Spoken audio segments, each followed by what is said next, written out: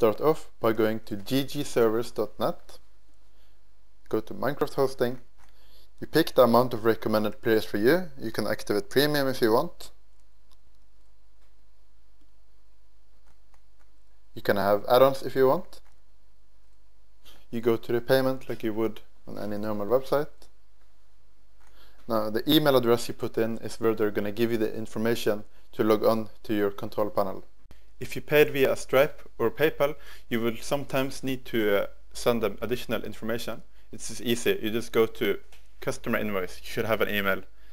You copy paste this and you just write it into the ticket here like I did and they will fix it for you. Once you have completed the payment, you will get an email. Your Minecraft server is ready. In here, you're gonna have all the information you need to log into your control panel. So you just click here. Next, download FileZilla.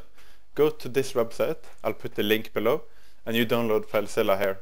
You're gonna need FileZilla to upload files to your server. It's really easy to use, and I'll show you how to do it as well. Next, you go to this website, you download the latest version. Once the download is finished, you just open it, you make a new file, you name it whatever you want, you drag this inside. You need to have WinRAR installed by the way, it's easy and free. And then you extract it here. Afterwards you can delete this one, you don't, you don't need it. First you run this file, you just double click it and you let it run. Now you delete server starts. You put Minecraft server, right, you need to make a jar file first. You need to name it jar. Then you put Minecraft server an FTP server inside. You put libraries inside. Go to FTP file access and you take note of this info. You're gonna need it to log on to FileZilla. Next, log on to your FileZilla. Locate your desktop, whatever you want file take everything inside and just drag it over here. This is gonna take some time. Next, go back to your control panel, servers, my servers. You just make sure everything is disabled. You just have to do this for some reason, I don't know why. And uh, you just accept, save, you start the server, now with nothing. This is gonna launch a vanilla Minecraft server I think you just need to do it to generate some files. So you wait a bit until this one lights green. Okay, you stop the server. You go to files, FTP file access.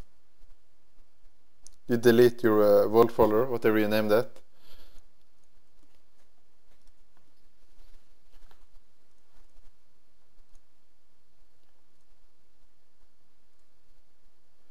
You type in feedthebeast ftb.jar you pick feedthebeast your name again doesn't matter. It's important that you go to your file FileZilla and you rename this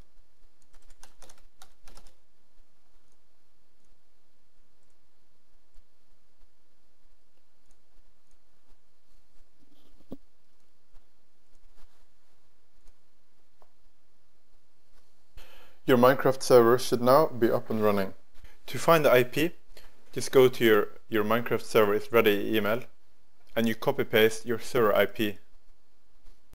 Next go to this site up here. You download this. This is the launcher for Feed the Beast. You're gonna need it to play. You don't need the vanilla launcher. You only need this one, I think. And then you go to the launcher